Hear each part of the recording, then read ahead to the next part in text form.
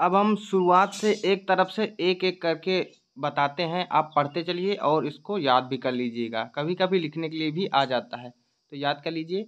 और लास्ट में हम आपको एक गलती बताएँगे। क्या गलत आपको नहीं करना है, ठीक? तो पहले आप इसको पढ़ लीजिए। अब यहाँ आपको गलती ये नहीं करनी। आपको दाहिने साइड में ही आपका आज्ञाकारी शिष्य लिखना है और बाएँ साइड में महान दया होगी और उसके नीचे दिनांक डालना है। ये गलती आप लोगों को नहीं करना है ठीक?